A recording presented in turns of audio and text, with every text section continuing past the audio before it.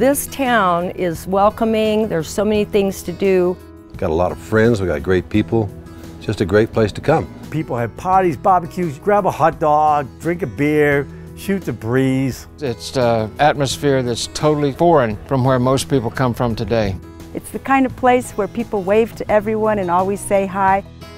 You love it here. You really will.